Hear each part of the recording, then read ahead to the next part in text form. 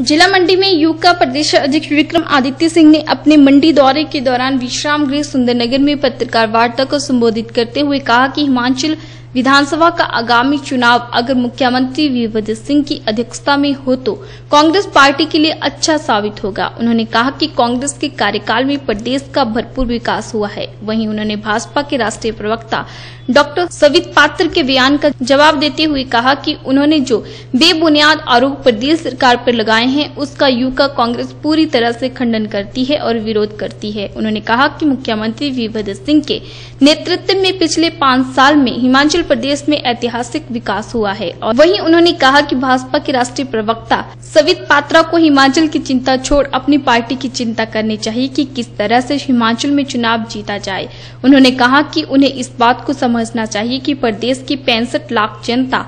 कांग्रेस सरकार पर भरोसा करती है, तभी कांग्रेस के हक में जनता ने वोट कर कांग्रेस पार्टी को चुना है। वहीं उन्होंने कहा कि आगामी विधानसभा चुनावों में सरकार और संगठन के तालमेल से प्रदेश की कांग्रेस सरकार सत्ता हासिल करेगी। कल जो बीजेपी के राष्ट्रीय स्पोक्स पर्सन है, संबित पात्रा जी, उन्होंने जो बेबुनियाद आरोप प्रदेश सरकार पे लगाए हैं, कांग्रेस पार्टी पे लगाए हैं, उसका युवा कांग्रेस पूरी तरह से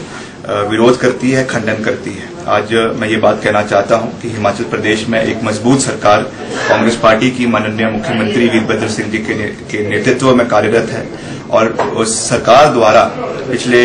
साढ़े चार साल, पौने पाँच साल के कार्यकाल में ऐतिहासिक विकास के कार्य हिमाचल प्रदेश में करवाए गए चाहे वो कॉलेजेस खोलने की बात हो, चाहे वो सब डिविजन है, चाहे आईपीएच की स्कीम्स है, चाहे हेल्थ सर्विसेज़ है, हर क्षेत्र में ऐतिहासिक विकास प्रदेश के हर कोने में करवाया गया है। उनको प्रदेश, हिमाचल प्रदेश की चिंता करने की आवश्यकता नहीं है। प्रदेश की जनता ने हिमाचल प्रदेश में कांग्रेस पार्टी को चुना, कांग्रेस पार्टी की सरकार को बनाया। और कांग्रेस पार्टी की सरकार ने पिछले पाँच साल में विकास की कोई कमी हिमाचल प्रदेश के अंदर नहीं छोड़ी है। और मुझे पूरा विश्वास है कि अगले जो विधानसभा के चुनाव होंगे, उसको मद्देनजर रखते हुए जो भी विजन डॉक्यूमेंट जो कांग्रेस पार्टी का मैनिफेस्टो अगले पाँच साल के लिए बनाया जाएगा, उन सब चीज़ों को मद्देनजर रखते हुए फिर से हिमाचल प्रदेश की पैंसठ लाख जनता, कांग्रेस पार्टी के सभी जो हमारे उम्मीदवार विधानसभा, पैंसठ विधानसभा क्षेत्रों में उतरेंगे। उनको जो है जीत की ओर आगे बढ़ाने में अपना योगदान देंगी। और हिमाचल प्रदेश में जैसा मैंने कहा कि कांग्रेस पार्टी एक मज़बूत संगठन और सरकार के माध्यम से हम